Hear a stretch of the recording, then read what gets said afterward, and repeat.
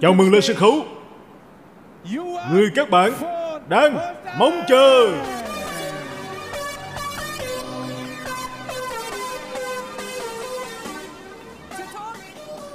Để nói về tầm nhìn trong tương lai, Bây giờ là lời nói từ một người đàn ông có những thành tựu dài lâu. Người tốt nghiệp Đại học Harvard Là một trong những người khởi nghiệp thành công nhất Thụy Điển từ trước đến nay. Ông có rất nhiều năm kinh nghiệm Và là một trong những người đứng đầu trong lĩnh vực xây dựng các công ty liên quan đến Internet toàn thế giới. Ông được Diễn đàn Kinh tế Thế giới gọi là nhà tiên phong trong công nghệ. Ông đã rung chuông trên phố Wall. Công ty tay trái của ông có hàng nghìn nhân viên. Chào mừng Johann Stone von Holsten Wow, cảm ơn rất nhiều. Tôi nghĩ thật tuyệt vời khi được đứng ở đây. Và tôi sẽ kể cho các bạn nghe một câu chuyện về lý do tại sao. Tôi nghĩ là tuyệt vời. Và tại sao tôi lại ở đây? Nhưng tôi xin lỗi khi phải bắt đầu bằng việc Kể các bạn nghe về lịch sử của bối cảnh. Một chút về hiện tại và một chút về tương lai Tôi đến từ một nông trại ở đồng không mông quạnh Bên ngoài một ngôi làng nhỏ không quan trọng Và bên ngoài một thị trấn nhỏ mà chưa ai từng nghe tới bao giờ và tôi mắc chứng khó đọc nên tôi không giỏi trong việc đọc hay viết. Tôi khá là tăng động và đó là lý do tôi vẫn hay đi tới đi lui trên này khi tôi đang phát biểu. Và thực tế thì tôi học khá tệ. Và khi tôi hoàn thành năm lớp 9 thì đó là việc duy nhất tôi đã làm. Tôi bắt đầu buôn bán năm tôi 6 tuổi. Ông của tôi là một ngư dân nên thứ đầu tiên mà tôi thấy chính là cá. Và rồi tôi trở thành một người hâm mộ bóng đá nên tôi bán kẹo ở các trận bóng năm tôi 12 tuổi và sau đó lại bán báo. Và năm 14 tuổi, tôi bắt đầu làm việc trong nhà máy phô mai. Nên tôi thực sự là một cậu bé nông dân. Và vào năm tôi 15-16 tuổi, khi tôi hoàn thành bậc phổ thông, hiệu trưởng trường đã nói rằng thằng bé không cần tiếp tục học. Nó có thể làm việc toàn thời gian ở nhà máy. Và mẹ tôi đã từ chối chấp nhận điều đó. Bà đã nói, con trai tôi rất tài giỏi, nó rất thông minh, và nó sẽ học tiếp. Bà ép tôi học rất nhiều ngôn ngữ. Và vì tôi không thể đọc hay viết, hay có thể suy nghĩ tốt lắm, Điều đó có lẽ không thông minh cho lắm. Nhưng bây giờ tôi đã biết tiếng Tây Ban Nha, tiếng Pháp, tiếng Đức, tiếng Anh và Thụy Điển. Nên tôi khá là mừng vì mẹ tôi đã làm vậy. Nhưng mà tôi học vẫn rất tệ, nên tôi du lịch vòng quanh thế giới trong nhiều năm và cứ đi quá gian khắp nơi.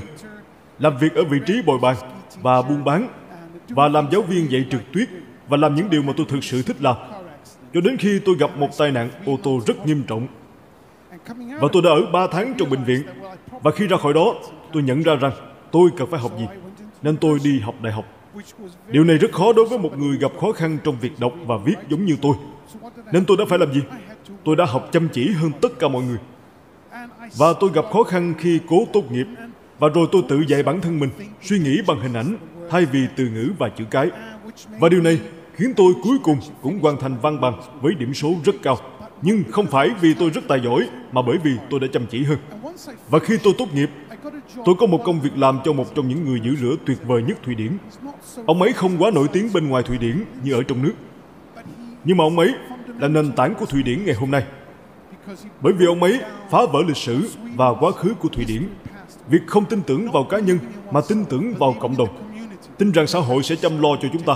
Ông ấy đã thách thức điều đó và nói rằng bạn có thể tự mình làm được. Và tôi đã xoay sở được một vị trí làm cho ông ấy Tôi gặp ông ấy ở Barcelona, nơi chúng tôi vừa rời đi hôm qua. Và tôi đã học trong 4 năm. Tôi mang nợ ngập đầu với khoản vay cho sinh viên. Và công việc đầu tiên tôi làm, tôi đã mặc một bộ âu phục giống thế này. Và ông ấy nói không, không, không, cậu phải mặc quần jean và áo thun. Và áo thun của cậu phải bị dính bẩn. Và tôi đã hỏi, tại sao? Tôi là thạc sĩ quản trị kinh doanh. Tôi đã học ở Harvard. Tôi vô cùng chăm chỉ cho việc này. Và ông ấy nói không, mọi người khi bắt đầu làm việc cho tôi phải bắt đầu với việc cầm bia. Và khi cậu giỏi trong việc cầm bia, cậu có thể bắt đầu làm việc với tư cách là chủ tịch cho bất kỳ công ty nào cậu muốn. Và mọi người biết đó, tôi nhận ra việc này vô cùng bất công. Tôi đã có rất nhiều tham vọng, tôi đã rất chăm chỉ, vô cùng chăm chỉ để bước đến vị trí đó. Và tôi có một người bạn học chung, trẻ hơn tôi 5-6 tuổi. Vì tôi lớn tuổi khi tôi bắt đầu học và cậu ta thực sự học khá là tệ. Nhưng cậu ta biết rằng bố cậu ta quen biết người mà tôi làm việc cho. Và cậu ta có một công việc và các bạn biết đó, văn phòng chính với bộ âu phục đẹp đẽ. Còn tôi thì phải bắt đầu từ tuốt ở dưới và tôi thấy việc này không hề công bằng. Và các bạn biết gì không? Cuộc sống là không công bằng. Và chúng ta phải thực sự, thực sự hạnh phúc vì cuộc sống không công bằng. Bởi vì nếu như nó công bằng, thì chúng ta hẳn là rất chán. Bởi vì có 70 tỷ người trong lịch sử loài người. Nên hẳn chúng ta đã rất chán và có lẽ là hàng nghìn hoặc hàng trăm năm về trước khi loài người chết đi do quá khổ vào năm 13 tuổi. Và chúng ta đều được sinh ra vào cuối những năm 1900. Nhưng mà chúng ta sinh ra ở đâu không quan trọng. Chúng ta sinh ra trong kỷ nguyên tuyệt vời nhất mọi thời đại. Chỉ điều này thôi, coi như thắng vé số rồi. Thực ra thì sự thật rằng chúng ta tồn tại đã như là thắng vé số rồi. Xét theo số lượng tinh trùng và tiêm chủng, chúng ta đều là những người thắng cuộc từ ngày đầu, dù chúng ta sinh ra ở đâu, chúng ta có màu da gì, chúng ta có trí khôn ra sao, chúng ta tồn tại và chúng ta có khả năng làm gì đó với cuộc sống, cuộc đời của mình. Vậy nên, tôi ngồi xuống và nói, cuộc đời này không công bằng. Như Bill Gates từng nói, tình yêu không công bằng, hãy làm quen với điều đó đi. Tôi nhận ra làm sao tôi có thể thắng được. Tôi sẽ thắng từ công việc cầm bia mà tôi làm, là sáng tạo ra một chuỗi các cửa tiệm hoặc cửa hàng hàng hóa trên truyền hình. Hàng hóa vận chuyển không thành công. Tôi nhận ra tôi sẽ chăm chỉ hơn mọi người 2 giờ đồng hồ. Bởi vì nếu tôi làm việc nhiều hơn 2 giờ, tôi chăm chỉ hơn. Chẳng có ai thông minh hơn tôi 2 giờ đồng hồ mỗi ngày cả.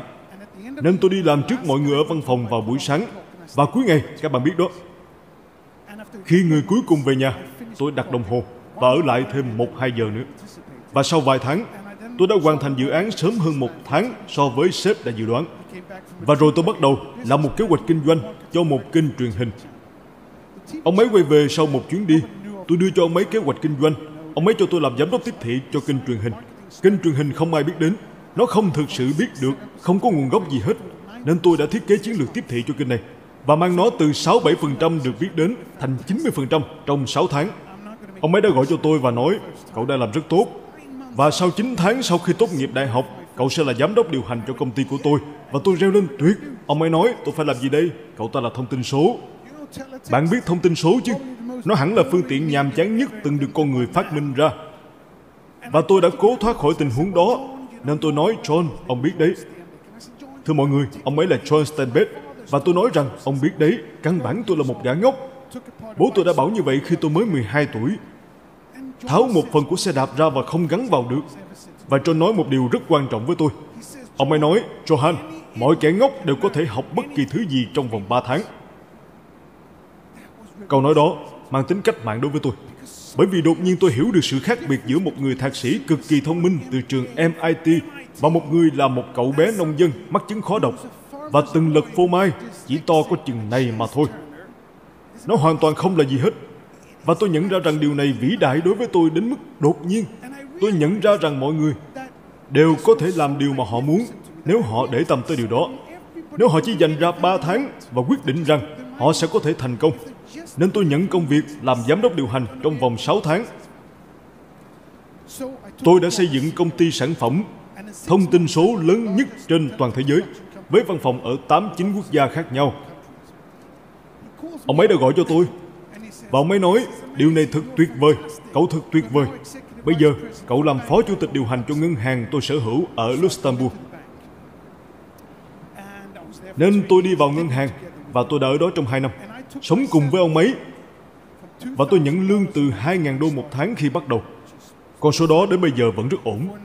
Nhưng đối với một thạc sĩ với rất nhiều khoản nợ sinh viên thì nó không tốt. Năm năm sau, tôi có 35.000 đô một tháng. Tôi có một chiếc xe thể thao mui trần. Tôi sống cùng với John Steinbeck trong nhà của ông ta. Và... Ờ, cảm ơn anh rất nhiều. Và tôi nghĩ rằng tôi giàu có và thành công đến không tưởng tượng được. Và vào một đêm nọ, khi chúng tôi chỉ mặc quần con và đang uống rượu whisky, sau khi ra ngoài tiệc tùng, tôi đã hỏi ông ấy cần bao nhiêu tiền để giàu có, vì tôi cảm thấy tôi rất là giàu. Tôi đã có khoảng một triệu đô trong cổ phần không liệt kê của các công ty ông ấy. Và ông ấy đã hỏi, sao vậy Johan? Hẳn cậu cần 50 triệu. Tôi đã nói rằng 50 triệu đô sao? Ông muốn 50 triệu đô làm cái quái gì chứ? Ông ấy bảo, cậu biết đấy, cậu cần một trang trại. Cậu cần một căn hộ ở New York, một căn hộ ở Stockholm, một căn nhà mùa hè ở Santa và một cái gì đấy ở trên núi. Cậu cần một chiếc tàu và nhân viên trên tàu, xe thể thao, tranh nghệ thuật trên tường, trang sức cho vợ và các con học đúng trường. Trong đời tôi chưa từng nghĩ về giá trị theo hướng đó. Tôi chưa từng nghĩ về quá nhiều tiền. Tôi nghĩ rằng điều đó là không thể đối với tôi. Và chúng ta biết gì về việc bất khả thi chứ? Chẳng có gì là bất khả thi hết. Nên tôi bước đến cạnh ông ấy và nói John, tôi muốn có 50 triệu đô. Và ông ấy nói, ừ Johan, ở với tôi trong vòng 10 năm đi.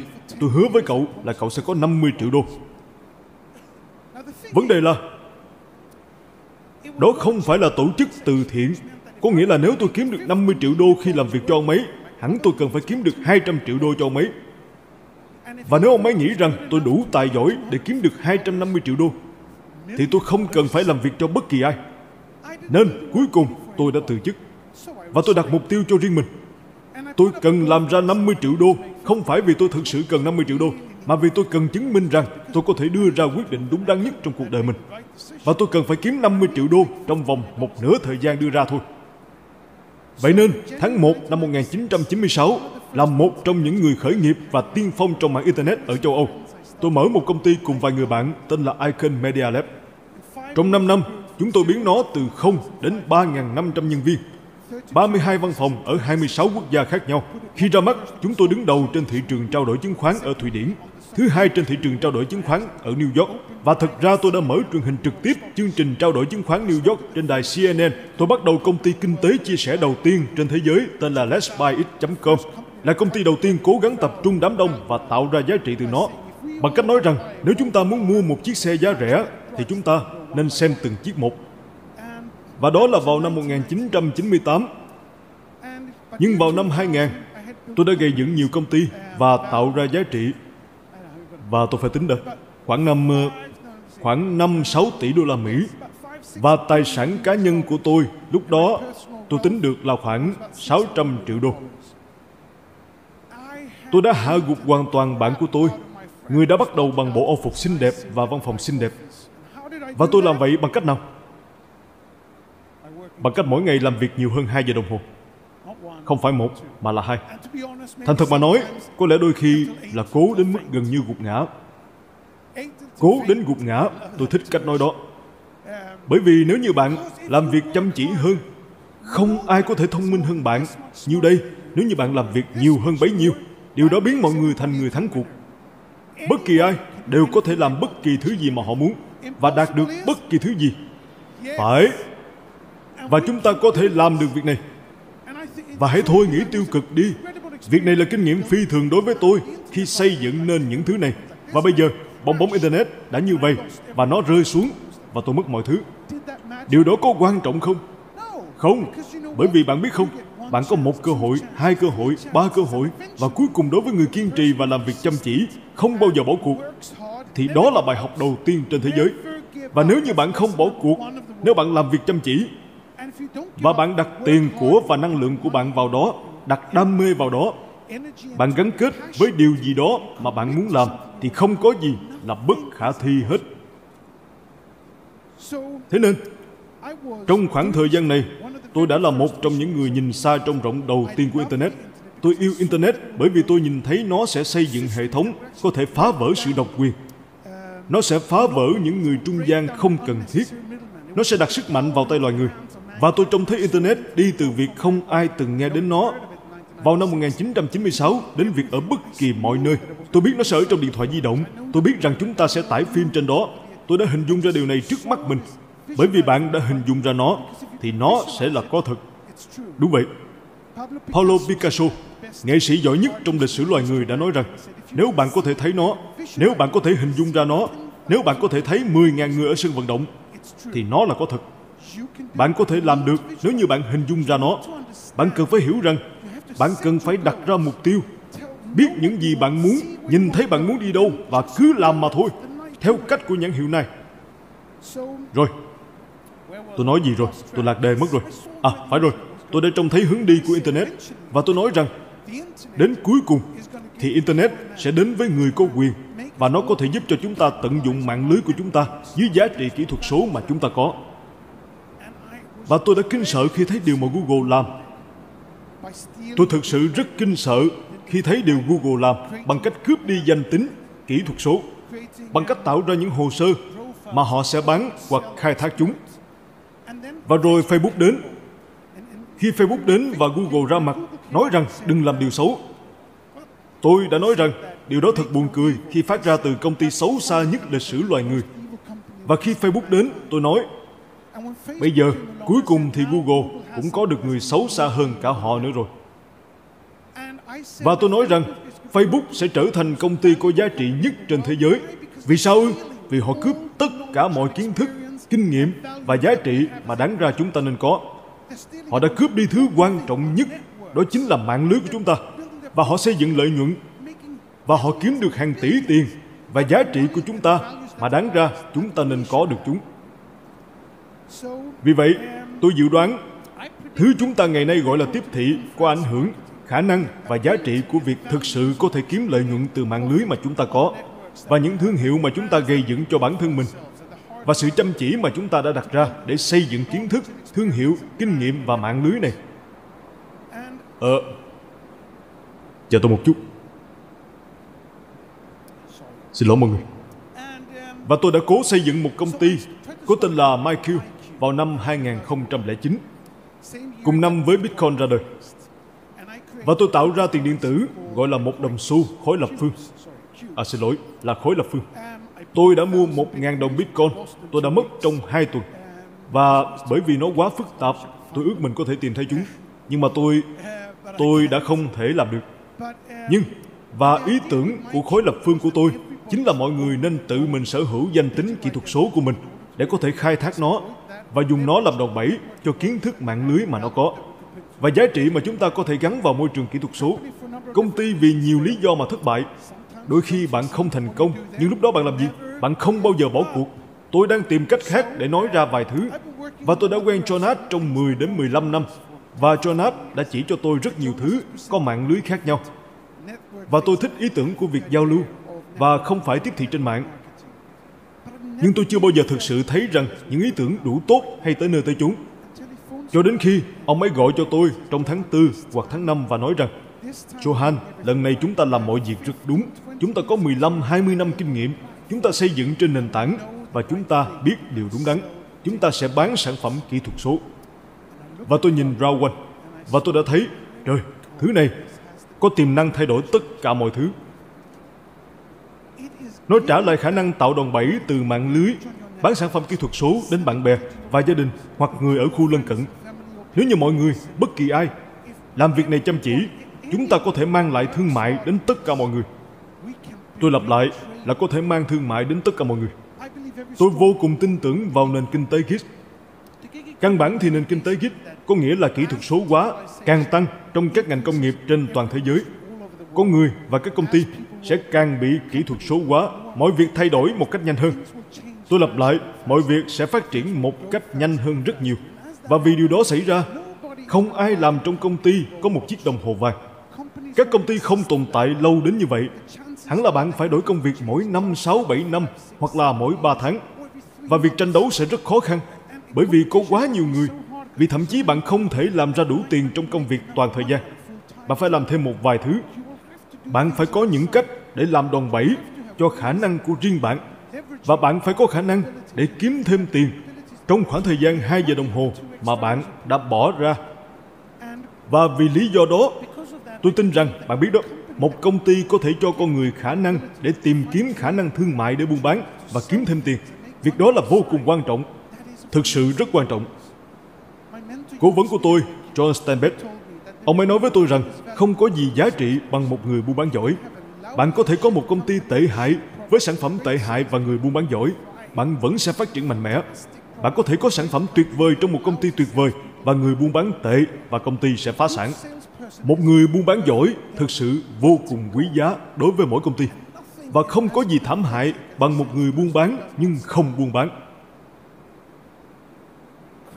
Rowan không phải là một dự án từ thiện. Nó sẽ không khiến cho mọi người thành công. Nhưng nếu bạn cam kết, nếu bạn làm việc cực lực, chúng tôi sẽ mang thương mại đến châu Phi, nơi những thứ khác sẽ trở thành tiền từ thiện. Chúng tôi nói không, hãy làm việc kinh doanh.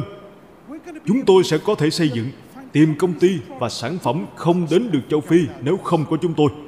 Và chúng tôi sẽ có thể khiến mọi người tìm công việc và khả năng để giữ lấy trách nhiệm cá nhân cho chính tương lai của họ. Và điều này làm cho tôi vô cùng thích thú. Bởi vì nếu chúng tôi làm đúng việc này, đây sẽ là mạng lưới cuối cùng bạn tham gia.